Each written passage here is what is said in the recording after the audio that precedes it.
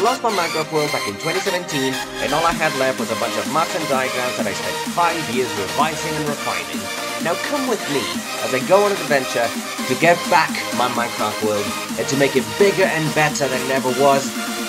This is Boti Gamer Minecraft.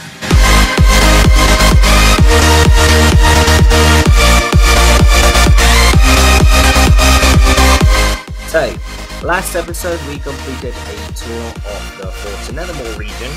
Now, we're going to continue going south to the next region. This is going to be the Maloney Corridor, and it's um, a few villages, not, not many, and also the Edgeware region, uh, which also not, not many villages.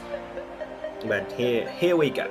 So as I record this, Lando Norris recently got P2 at the British Grand Prix.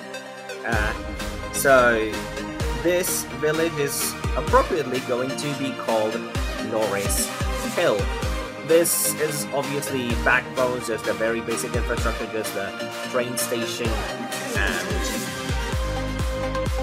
roads, and it will eventually become a trading village, but so far, since we don't really have a lot of the blocks I want, it will just remain backbone until the upgrade, and then we go to the next village called Maloney Market.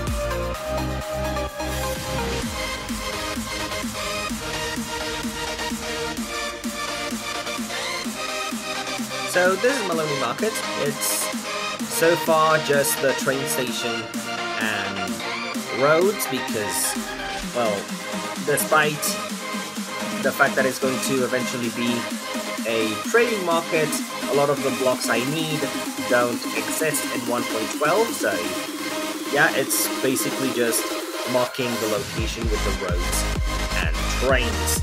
But yeah, next village.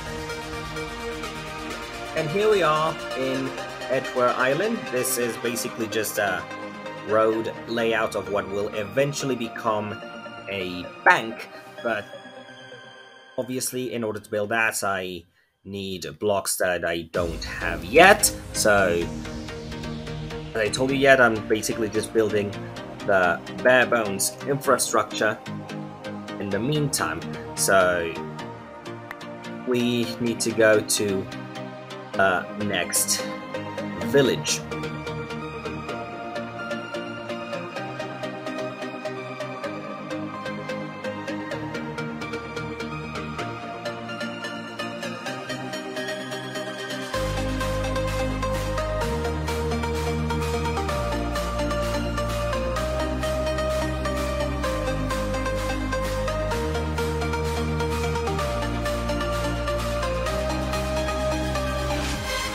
And so this village will eventually be called Edgeware.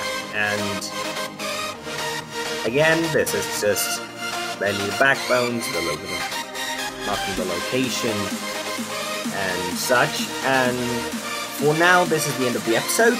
I will next take care of the Tarzanshire region.